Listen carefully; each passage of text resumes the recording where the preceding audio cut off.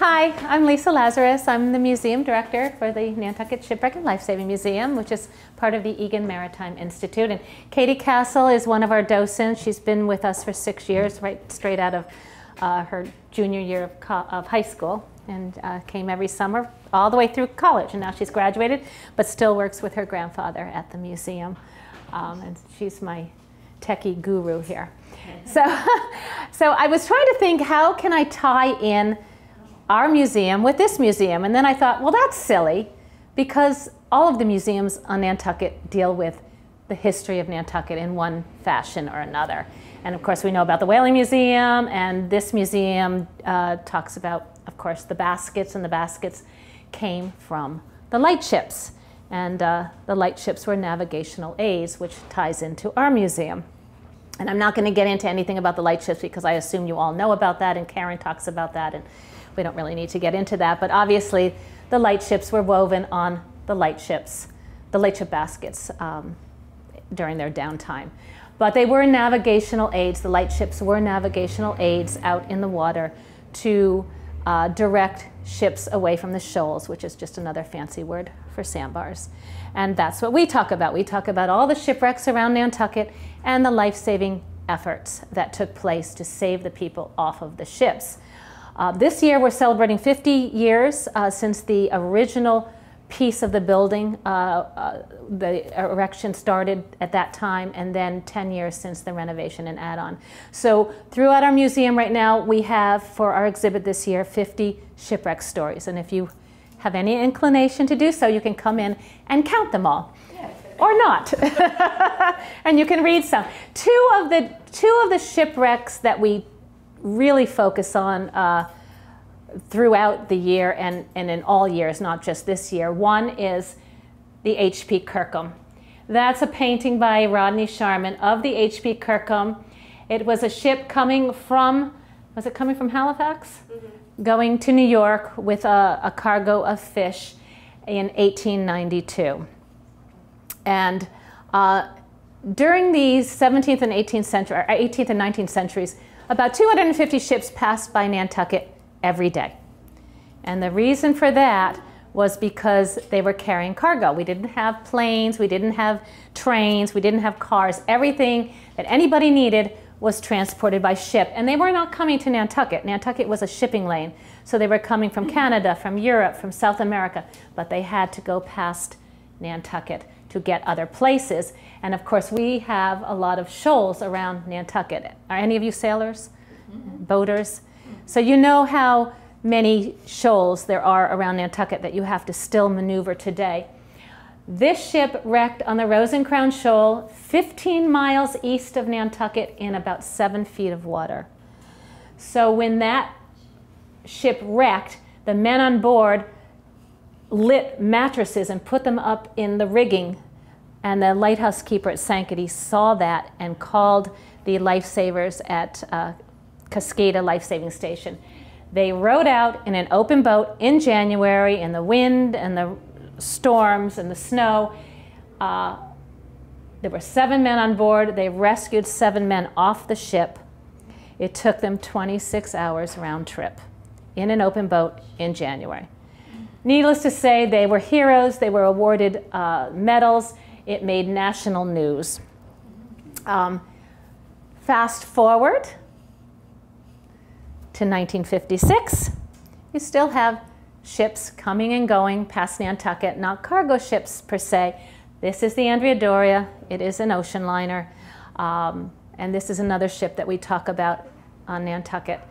Uh, this ship was considered uh, state of the art for its time. It was uh, considered a floating art gallery. Um, it, Italy, at that time, it was right after World War II, they um, were taking great pride in uh, producing a ship that was state of the art. And, and the, the best architects were employed, artists, ceramists, uh, textilists, um, this is an interior shot of the Andrea Doria in, in the early 1950s. It, its um, maiden voyage was 1953, and it, it sailed to New York. So these, this is what you're seeing. This is first class dining. They had first, second, and third class. Um, the dining rooms, everything was separate. Uh, dining rooms, reading rooms, uh, children's rooms, and um, there were three swimming pools, which was very unusual. Three swimming pools. And just, just a few interiors here. Is that the last of the interiors? Okay. This is Captain Calamai. He was the, um, the captain of the ship. This story has a lot of intrigue because a lot of Nantucket people are tied to the Andrea Doria. Um, and several Nantucket people were on the ship in 1956. It was coming from Genoa, Italy to New York. I'm going to tell you all about the Andrea Doria. I hope you don't mind, because this is most, one of our most intriguing stories. And then hopefully this will prompt you to want to come to the museum and read about all of our other wonderful shipwreck stories. But this, this one's got a lot, lot to it, so this is what I'm going to focus on.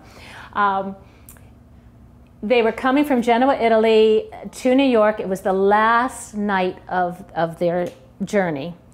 And everybody was dancing and drinking and having a grand old time. Captain Calamai had had uh, the radar on. It showed that there was another ship coming from Sweden, I mean, excuse me, from New York going to Sweden called the Stockholm. It was about um, 14 nautical miles away.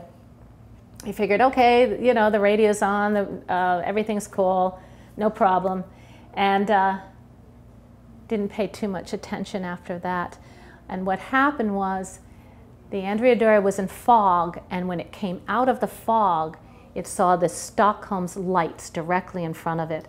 The Stockholm hit the Andrea Doria. That's the, that's the bow of the Stockholm. Sliced open the uh, starboard side of the uh, Andrea Doria, um, like a can opener. And uh, we'll just leave it right there for a moment. Um, and the Andrea Doria started to sink. Um, so they put out the SOS, uh, and there were several ships in the area. The Stockholm, in fact, stayed afloat and took on about uh, a little over 500 of the passengers.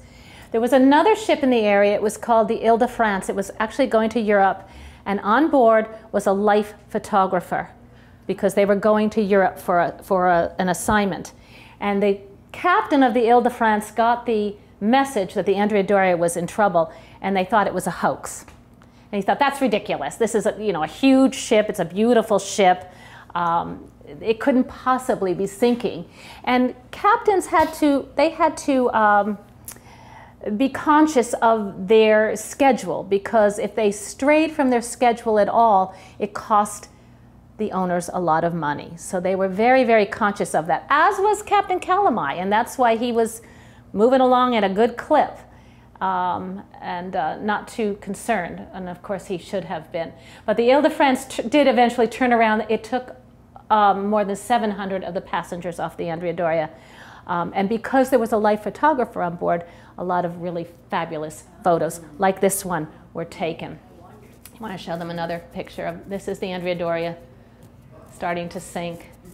And you can just show them another one. These are the life lifeboats being lowered with people on board. Um, I'm just trying to think where I'm at with my thoughts here. um, the, there were a lot of uh, passengers on board. Some were uh, famous people. an actress named Ruth Roman was on board. There were um, very wealthy uh, people on board, and then there were immigrants on board as well, and they were in the lower hold. And a lot of, a lot of the people in the lower hold didn't make it. But because it hit on the starboard side, top to bottom, it affected anybody in all of those cabins. And um, what's next? This is an interesting story. This is a, a Hungarian, two Hungarian refugees. They were ballet dancers.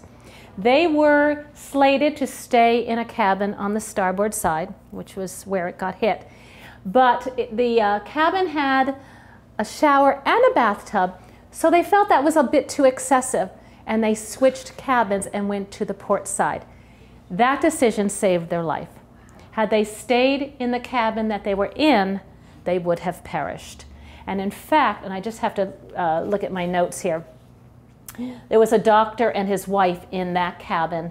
Um, and the wife perished, but the doctor lived in the cabin next to his. And I think you can go to the next one. I'm not. Okay. In the cabin next to his was um, a mother and her, or a woman and her husband. He was a, a New York correspondent living in Madrid with his wife and his two stepchildren.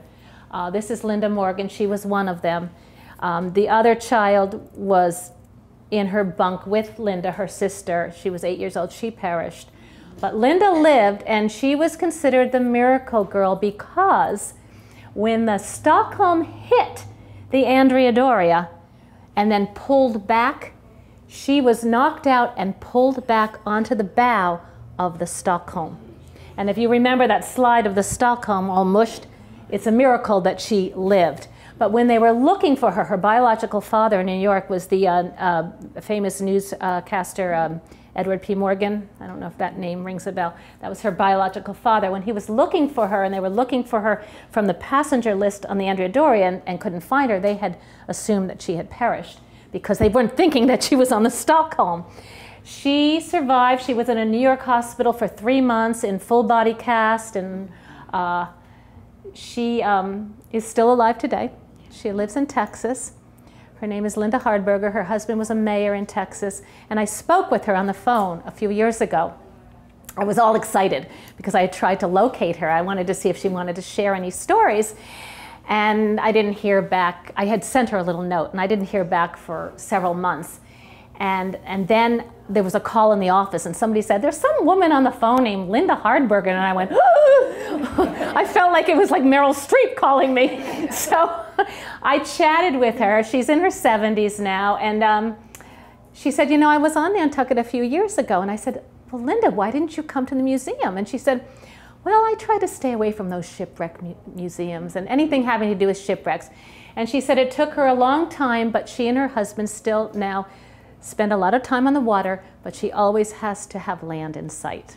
So anyway, so she was she was a survivor. She was a, the miracle girl. Sadly, her her mother, who did live, um, suffered from a lot of depression. As you can imagine, she lost her husband and her other child in the crash, and she um, lived another 10 years, and then she passed away. But anyway, um, what's next? I don't know what's next. Oh, this is a happy story. Um, this is a woman who, who was carrying her child. Her name was Liliana Donner, and she had placed her two-year-old Maria on her shoulders, and she began to climb down from C deck, which was where the immigrants were, to safety, and her daughter slipped and fell into the ocean. She dove in, got her, saved her, brought her back on board in, and put her in a lifeboat. And then the other woman there also fell into the ocean, so she dove back in, got her, saved her as well. And so that's, that's um, you know, a wonderful, happy story. Um, not so much the next one hope you don't mind if I, I have to tell you the good and the bad because, you know, it, it wasn't all happy. This is kind of a sad story. This is a, a, husband and wife, immigrants coming to America to start over with all the worldly goods. They had a four-year-old daughter. The husband was panicked. He dropped his four-year-old into the lifeboat. She hit her head on the gunnel um, and was knocked out. She was then put onto the Stockholm, they were put onto the Ile-de-France. So for two days, these frantic parents were looking for their four-year-old. And eventually, uh, she was located in a Boston hospital after first being taken to the Nantucket Cottage Hospital. And you have to realize the Andrea Doria um, was sinking 45 miles south of Nantucket, near the Nantucket Lightship. So the first place they took this child was to the Nantucket Cottage Hospital, as they did a lot of the people who were injured. And then they located her in, um, in a Boston hospital, but unfortunately she never gained consciousness and she passed away. And I feel so sorry for those parents because they didn't know the language, they lost all their belongings, and then their poor child dies. And they were probably thinking, why did we ever make this trip? So that was a, a sad story. But there are other happy ones. These, this is the Palladino family, and they um, were also immigrants coming to um, America the husband was a tailor, and they were a little bit more careful about putting all their children into lifeboats. The, the oldest one, though, was separated from her parents, and they didn't find her for several days. Um, and she was fortunately safe. Go to the next one. In the arms of a Red Cross uh, nurse, and they did locate her, and then they all went to New York. And as you saw in the other picture, they were all thanking, thanking God for their, their survival. So that was a happy story. Um, and then this is Ruth Roman, who was on board. She was evidently a, um, an actress from the, the 30s and 40s, and she was on board with her little boy who she was separated from. She's in New York now, waiting to see um, if she can find her son, which she did. So that was another lovely reunion. He's still alive today, her son. And um, this is the this gives you an indication of the beauty of the ship. This was the chapel in the in the uh, on the ship. It was uh, non-denominational; anybody could attend. Um, there was another. There were two families that are associated with Nantucket. One were the Thoreaus, or I'm not sure if I'm saying it correctly. They um, were uh, second or third cousins of Lucille Hayes. Does anybody know Lucille Hayes? Her, she's here in Nantucket. Um, they were her parents' second or third cousins. They were in a cabin just next to the cathedral, a very um, beautiful cabin, uh, first class. Their son was down the hall. He, uh, they perished because it they were in the direct line of the hit. Their son lived. He came out of his cabin as the, as the boat was tilting, kind of wondering what was going on, went back to sleep, then got up again when he realized things were a little bit off, and looked for his parents, couldn't find them, got into a lifeboat, and um, obviously then was informed that his parents had perished. He was raised by a sister in San Francisco, and I believe he is a big um, newscaster now in San Francisco, but he's related to Lucille Hayes here in Nantucket. The other family that was on Nantucket, and I didn't, I didn't put this on a PowerPoint, but I'm going to show it to you, were the Giffords, the Gifford family. Um, this is Bambi Gifford Mleczko. You know the Mleczko family? Here, I'll hold it up. Oh, sorry. Does anybody know the Mleczko family? Bambi Mleczko. Well, she was on board with her parents and her three brothers. And um, this is the moment when they, they were separated from dad and they were on the Ile de France and they came around the corner and there was dad. And so they were all reunited on the rescue ship. But it's interesting, you'll see two things here. I believe mom is holding a lightship basket. and the interesting thing about that is that as they were climbing the stairs to get into the lifeboat, she dropped her lightship basket. And she said, Oh, don't worry about it, just, just let it go. Bambi scurried away, went down the stairs, got the lightship basket, and brought it back to her mother. And you can see that mom's holding her hands like this. She's a, she had taken her wedding band off when she went to sleep so that when the ship was hit, she didn't have time to get it, so she's, she's hiding her hand because she didn't have her, her wedding band on. But at any rate, um, all the boys are still living, and, and Bambi lives on Nantucket, and she's, her daughter is AJ Mleczko, who went on to become uh, an Olympian hockey player. So, so, so that's another Nantucket connection. Um, the ship was hit on the 25th of July, 1956. It took 10 hours, or 11 hours, 11 hours, right? Yeah, 11 hours to sink, so it didn't sink until the morning of the 26th. And the reason it took that long was because it was built differently and had different um, compartments that were closed, unlike the Titanic, which sunk in two and a half hours. So fortunately, because it took that much longer to sink and there were that many more ships around, to take on the survivors, there were less people who perished. Of the 1,700 plus on the, on the ship, 46 perished and five on the Stockholm, which you could say is not a lot, but for those who lost somebody, it's certainly more than, more than we care to think about. Is there anything else? I'm just, and these are just people in New York after the ship arrived, or actually not the ship, but the other ships arrived with survivors, waiting to see who was going to get off of a lifeboat and who wasn't. And that, obviously, you can see there are people here who are just ecstatic to see their relatives. And of course, there were those who stood there alone, waiting, and nothing happened.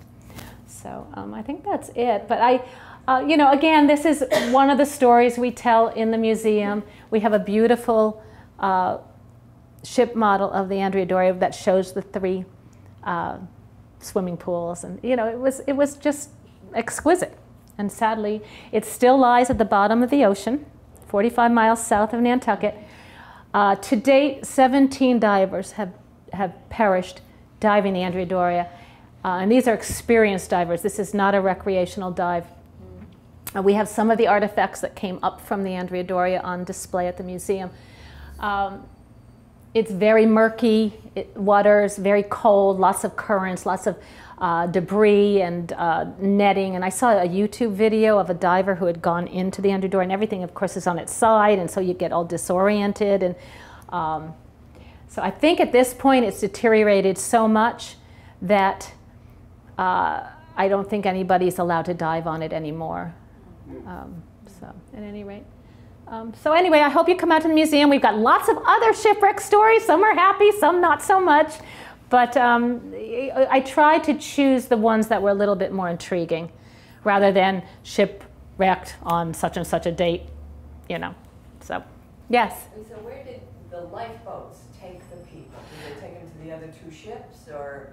Yes, yes, they took them to the larger ships, to the Ile de France and the Stockholm, and um, yeah, and there were a few other Coast Guard vessels in the area as well.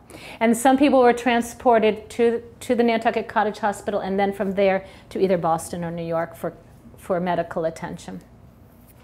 But all of the ships then took the survivors to New York because that was the destination. That's where the relatives were waiting or friends for anybody that was going to show up.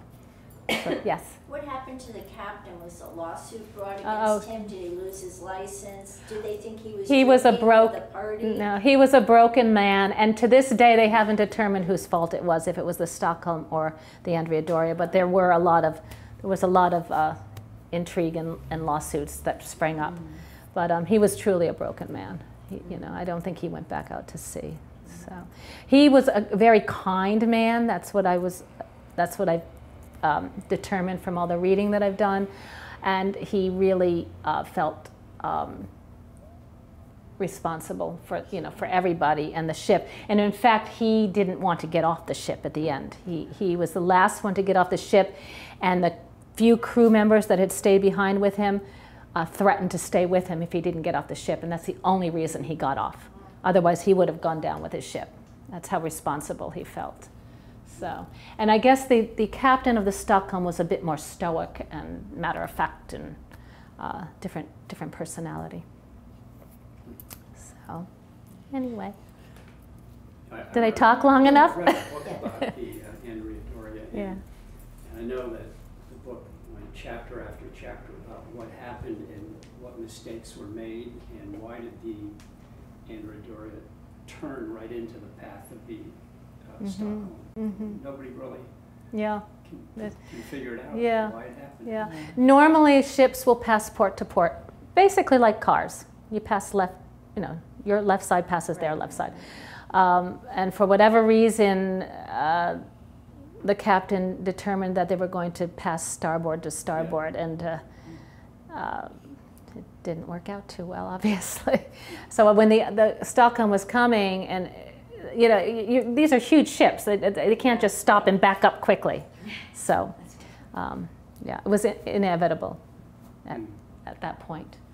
But anyway, Thank you. thank you. Yeah, just just a little just a little taste of what we talk about at the museum. If we didn't have the story of whaling, um, the story of life saving would be the story on Nantucket because there were so many heroic people that uh, went out to save all of these people, whether it was in 1892 or 1956 or whatever. And as a matter of fact, we did honor um, a gentleman uh, two years ago. Every um, year on 9/11, we have what we call Lifesavers Recognition Day, where we honor um, two or three people who have saved a life on Nantucket in that year. And in 2016, it was 60 years since the Andrea Doria had uh, sunk. So we had an exhibit about the Andrea Doria. And we decided to make an exception and honor a gentleman who was in his 20s at the time young guy who a child on his back, went down the- rope ladder, put the child in a lifeboat, went back, got another child, put that child on his back. He did it, I think, 12 times. And until one of the crew members said, Enough, you're exhausted, you have to get into a lifeboat yourself. He's still alive today, he's in his 80s, and we brought him from Florida and we honored him. Oh, nice. Yeah, because, you know, Cool. yeah. So that was two years ago. Yeah, yeah. So, anyway. How does uh, Joshua James connect to the museum? Oh. Because my parents lived in one of his houses. Really? In Hull? Yeah, Was it in yeah, Hull? It was, yeah. in Yeah. Hull. Joshua James was a, um, a giant of a lifesaver. Yeah. When he, do you know the story of Joshua James a little bit? You want to tell them? Um, yeah, I, I can't even remember exactly uh, when he lived, but I remember he saw the transition from volunteer life saving to the professional life saving. And he was a volunteer, he started as a volunteer when he was 15. Um, his father had been a volunteer lifesaver before him, and I think his, at least his mother and maybe his sister had died on a shipwreck. Um, so he, it was just like all, like in every part of his life Yeah. and he was a lifesaver until he was 75 years old, which was um, sort of past the age of retirement. But uh, he had been around for so long that no one really expected him to retire and stop doing it. And he died um, just not not of any accident or incident, just sort of p- passed away randomly as he like during a training section as he was training some new uh, lifesavers. So he was you know involved with lifesaving from pretty much beginning to end. And there's a Coast Guard cutter uh, named after him, the Joshua James. Mhm. And I think he, he's on like all the Coast Guard entrance exams. You have to know Oh, yeah. all about who Joshua James is. yeah. Mhm. And I believe he was buried in a casket that was shaped like a lifeboat. Yeah. Yeah. in Hull. In Hull. Yeah. And that's and we honor him in our museum because he was such a great lifesaver, even though he was from Hull. Yeah, that's right. Yeah. He was the most decorated lifesaver. He had the most amount of uh, medals awarded. Um, So he lived in Hull, but he came here. He- No, we just he honored him No, because but I he- mean, he um, yeah, saved people here, around here, or everywhere probably more. Um, locally. yeah, yeah. But we, we still honor him Yeah, because yeah. he was a giant. Yeah, Yeah. Not physically, but yeah, no, he wasn't. yeah, yeah. What's Dick Max? Uh, I know he served on the lightship for how many years? I think it was just three months. Oh, that's all. Yeah, because normally I think most men only stayed on a light ship for three to six months. Think about it, that you're out in the water anchored. You're not going anywhere. That's a tough, tough time, a tough life. And that's why there was some downtime, and that's when they started weaving and doing other things. But there were a lot of chores that they had to accomplish on a daily basis. Um, but and they were small boats. I mean, we have one story where a, a big ocean liner, it was the sister ship to the Titanic, sliced the uh, what was it, the 1932, 30, uh, 34. 34 lightship in half, because it was teeny tiny next to these huge uh, boats. So it was a dangerous position too. Um, so yeah, so he was he was on board. I think it was three months. Yeah, but he was Yeah. on some other light ships as well. It wasn't just the Nantucket. Um, they do work. They'd be sent to different ones around, and he was only in the Coast Guard for four years. So part of that was in Japan. He was in Japan for Hmm. a couple of years. Yeah. And we have some wonderful docents. Dick Mack's one of them. Yeah. Katie's another. Uh, Chuck Allard, who used to work at the NHA, is another. And uh, my husband does it in the off season when I tell him he has to. Um, my son's here this summer. He's a teacher, so he's doing it as well. And he did it in 2014, so we uh, re-employed him for this summer. And they're all great. They're all really wonderful docents. And then uh, Renee Coleman works behind the front desk. Um, she, her husband runs the casino. So, yeah. So come on out. I know a lot of you have, but um, and if you haven't seen the new exhibit this year, please make a point of uh, doing that as well. Is the Rodney Charman painting, is that in your collection? Yes, and it is on display in the museum right now. Yeah. Yeah. You commissioned him to do that, or? Well, Bud Egan, who started the Egan Maritime Institute, commissioned him to paint many paintings, That's right. and a lot of them you can see at the um, police station Yeah. um, the, on Fairgrounds Road. If you go into the hallways, up and down, and into the community room are all the Rodney Charman Yeah, they used to paintings that are on loan. School, I think. Yes, right? and Yeah. those are the paintings that are now uh, on fairgrounds. Yeah, yeah. There's a lot in our storage facility as well, but the Nantucket story is displayed at the um, fairgrounds facility. Yeah, yeah. But this this particular painting is uh, in the museum right now on display, And the, Yeah. The British Queen. and the British Queen too, which is another one, which is ties to the Mooney family. So that painting Oh, as well. The Rod, yeah, the Rodney Charman. hmm Yeah. Yeah, This isn't even the only Kickham painting. He did like a, another yeah. painting Another of the same shipwreck, like more of um. a dramatic. Sorry, It's okay. of like the yeah, just like this area. Yeah. But um, yeah, and the British Queen is another great story. So I'm not going to tell you anything about that. You have to come out and see it. So anyway, well, thank you all for coming.